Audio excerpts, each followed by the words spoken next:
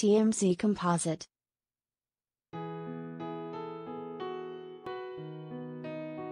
Celebrity chef Cat Cora's estranged wife will have plenty of options in the single lane, cause she scored not one, not two, but three cars in her divorce settlement.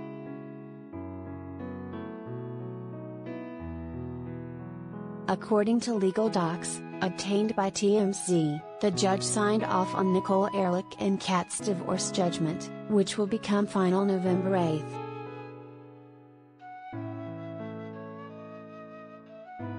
Nicole will keep a 2010 Lexus RX 350, 2015 Audi Cove and a 2017 Jeep. She'll also get to keep some furniture, jewelry and several bank accounts.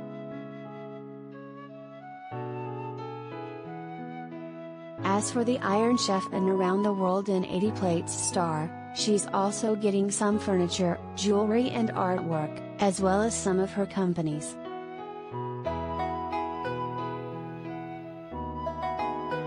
The former couple hammered out a deal.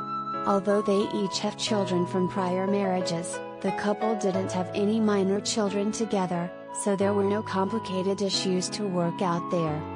They also waived the right to receive spousal support.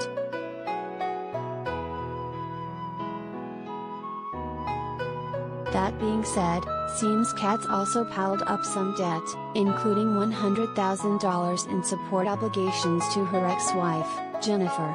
The docs make it clear, that's her responsibility after Nicole and Cat are officially donezo.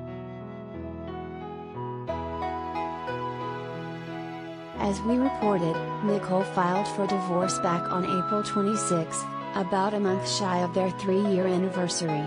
It's Cat's second divorce and Nicole's first.